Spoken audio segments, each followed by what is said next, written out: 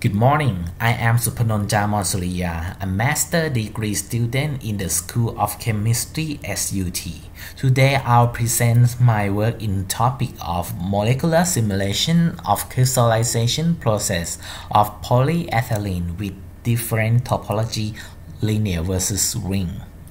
This presentation will include the introduction about the polymer with different chain topology with comparison between linear and cyclic polyethylene and polymer crystallization. Then the technique of Monte Carlo simulation of polymer is introduced followed by the result, discussion, and summary. The objective of this work is to have better understanding at the molecular level for the effect of chain topology linear versus the cyclic on the crystallization behavior of polyethylene melt by computer simulation techniques. The polymer crystallization is very interesting and important in polymer science and technology. We can view the polymer crystal in various length scales starting from the smallest dimension in the unit cell, where the polymer chain has to pack together and fold to uh, crystal structure proposed by Andrew Keller in 1957. As polymer crystal is rarely to be perfect, there should be amorphous portion sandwiched between crystalline unit as the layer structure. Then this unit assembly to be spherulite which is large structure and can be observed by the optical microscope. Cyclic polymer have been synthesized in the laboratory scale recently, and it's bring about many interesting property due to the lack of chain end. In particular, for the folded chain structure in polymer crystal, cyclic chain should behave differently. Interestingly, the crystal growth rate is faster than the linear chain as observed in the experiment. It is of interest to study future for the crystallization characteristic of the cyclic and linear polymer. Because the cyclic polymer is very hard to prepare and no commercial sample are available. We want to study this polymer using the computer simulation techniques. We perform the coarse grain simulation instead of using the fully atomistic model which is will consume too much computation time, maybe months or years, to simulate the polymer crystallization. The method starts from the mapping polyethylene to coarse grain chain on the lattice and then perform Monte Carlo simulation to investigate the polymer crystallization based on various calculate property. This is the overview process of the polymer simulation procedure using in this work. First, we modify the parameter of coarse grain polymer chain mapped into the 2NND lattice from the RIS model and the Lennard-Jones potential function for the intermolecular non-bond interaction. We use the Metropolis criteria to determine the movement of the polymer on the lattice. The rotational isomeric state model proposed by Paul J. Flory was applied to define the single chain conformation of polyethylene. This is the statistical weight matrix of the polyethylene which row and column represent each trans gauche plus gauche minus conformation with this energy as sigma and omega for the polyethylene. For first order interaction, we determine from the repulsive group by Newman projection with first two bond, which gauche plus and gauche minus will be defined as sigma due to the closeness of the repulsive group, and one for trans state because the C group is far from each other. Then the second order interaction for this further bond which is more mostly uh, repulsive as the different gauche state as gauche plus gauche minus and gauche minus gauche plus we define it as the omega state the other is 1 because the CH group is far away from each other. Each cos can be contain one ethylene unit or two carbon backbone and then we map them into the two NND or second nearest neighbor diamond lattice which is derived from the diamond lattice as a red dot. We remove the blue dot to get a distorted cubic lattice with give the coordination number very high as 12 which is the higher compared to the cubic lattice.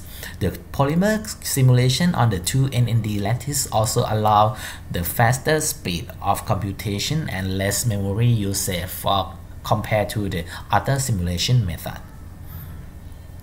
After we mapped polymer chain into, onto the 2NND lattice, we can classify each conformation to four type A, B, C, D from their length from bead i to i plus 2 as A, B, C, D, which can be defined uh, as 4 by 4 matrix. As the polyethylene had a symmetrical torsional energy profile, we can further group the C and D state together so we can reduce them to 3 by 3 matrix. After we define the single chain parameter, we use the Lennard-Jones potential 12.6 for interchain interaction. The method is based on the treatment of real gas using the second virial coefficient for the interaction between two beads on in the lattice. In this work, we use the first three shell of the discretized uh, Lennard-Jones energy to speed up the calculation. After we define all Hamiltonian to describe the energetic of the system, the metropolis criteria is used to determine the movement of the bead in the lattice. If total energy getting lower, the movement will be accepted. But if energy goes higher, we have to determine the comparison of the Boltzmann factor to the random number lambda.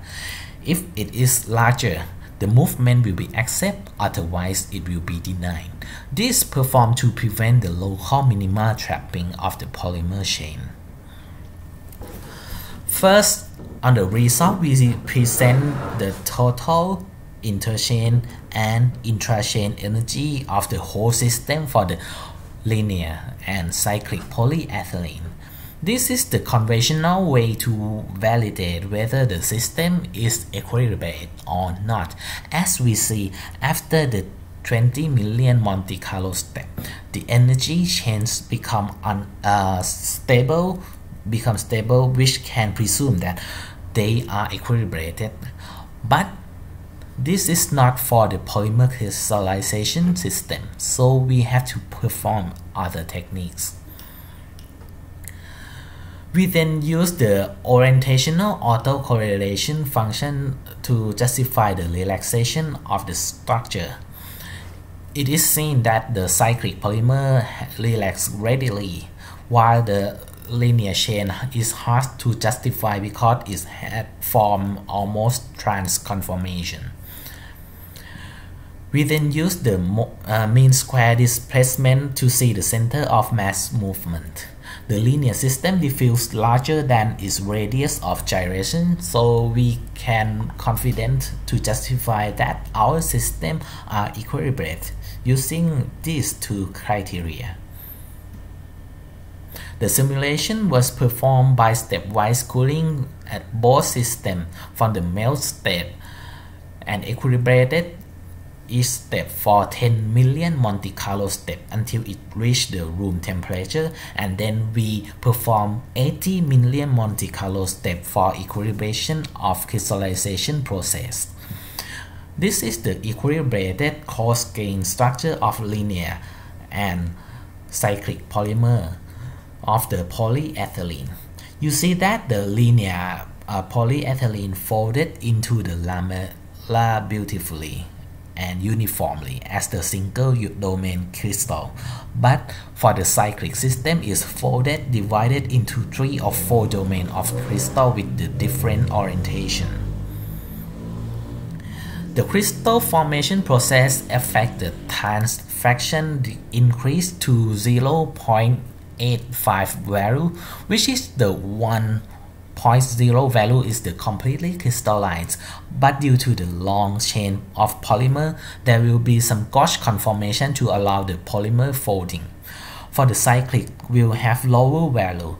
This not mean the crystallization is bad, but for the cyclic polymer, there's more point of folding to form the double layer which require more gauche conformation on the polymer chain. Then we see the anisotropic chain in the polymer chain dimension in terms of radius of gyration. Each laboratory exists upon the uh, crystallization, the linear chain elongate periphery into the one particular direction is z direction whereas the there is no general trend for the cyclic topology. This result suggests that the linear form the one domain crystal and oriented in one direction, whereas the cyclic chain form crystal with multiple domain and different uh, direction of orientation so that the radius of gyration in x, y, and z axis has no significant difference. We now investigate the overall bond orientation in the system using the global order parameter calculated from all bonds.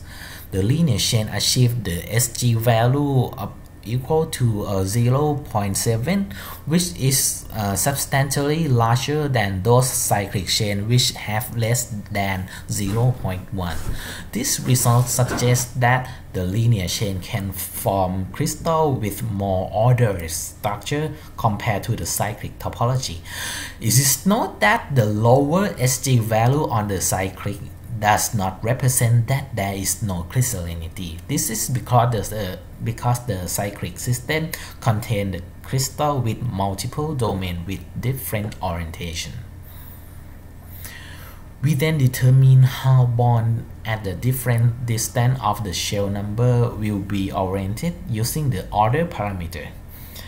As the crystallization proceeds, the order parameter is monotonically increased.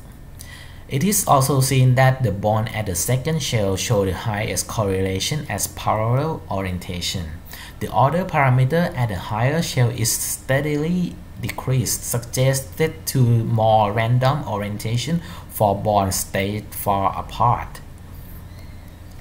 Next, we investigate the bond order correlation function in the same chain. In general, when the crystallization takes place, the decay of the order parameter is slower as the chain adopts more trans conformation. The cyclic polymer has an upturn point at 10, which is the half length of the chain due to the topology effect of the polymer cyclic. Next, we determine the bond conformation as the number of consecutive bond in trans state.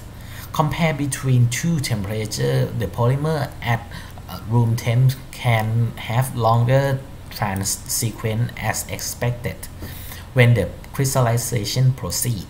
Compare between these two topology, cyclic and linear chain at the room temperature the trans sequence on the linear chain can go up to 25 bond while the cyclic polymer can go around uh, 16 bond. We analyze to compare the chain packing between linear and cyclic chain using the pair correlation function. In the melt state, the PCF of two systems are almost the same, while at the room temperature, there is a significant difference that the linear chain pack denser than the cyclic. As linear chain have chain ends, it is easier for linear chain to find the position to stay closer to themselves, whereas the cyclic chain cannot. To get some properties that are related to the real experiment, we calculate the scattering structure factor using this equation. Simply speaking, we find the distance of Rij between all beads pair and then multiply them by q, which is the scattering vector. We sum this quantity for all beads pair and normalize by the square of number of the beads or n powered by 2 to get the SQ. The plot at the left is the difference of SQ with S at the time origin to signify the uh, crystallized formation. The peak intensity will increase as the crystallization proceeds. On the right side, we compare the quantity between the uh, linear and cyclic polymer. It is seen that the linear crystallize better than the cyclic. Note that the amplitude of the cyclic system can be up and down, meaning that the crystal may be not so stable or it can change the orientation whereas there is a steadily increase for the linear chain. This is the summary of my work. Thank you for all of your attention and I want to acknowledge uh, the SUT University for the high performance computer cluster for the molecular simulation and DPST scholarship for tuition funding. Thank you for your kind attention. So feel free to discuss and ask the question.